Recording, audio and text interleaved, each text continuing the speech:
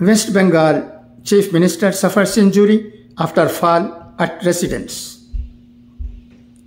Shiv Sahai Singh, Kolkata. West Bengal Chief Minister Mamata Banerjee was injured on her forehead after a fall at her residence in Kalighat here on Thursday. The 69 year old leader was rushed to the state run SSKM hospital here. SSKM hospital director Manimoy Bandyopadhyaya said Mrs. Banerjee was brought to the hospital with injuries sustained in a fall after a push from behind. She suffered cerebral concussion and had a sharp cut on the forehead and nose.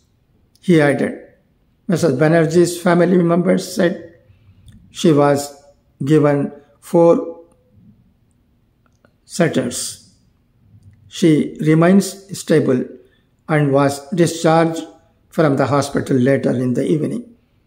People crowd hospital.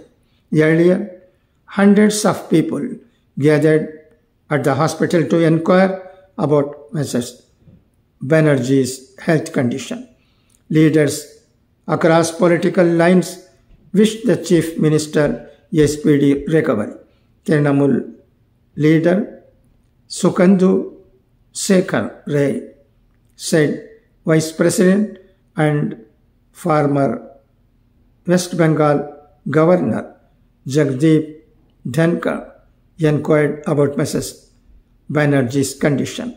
State BJP President Sukanta Majumdar as well as Congress leader Adhir Ranjan Chowdhury wished her a speedy recovery.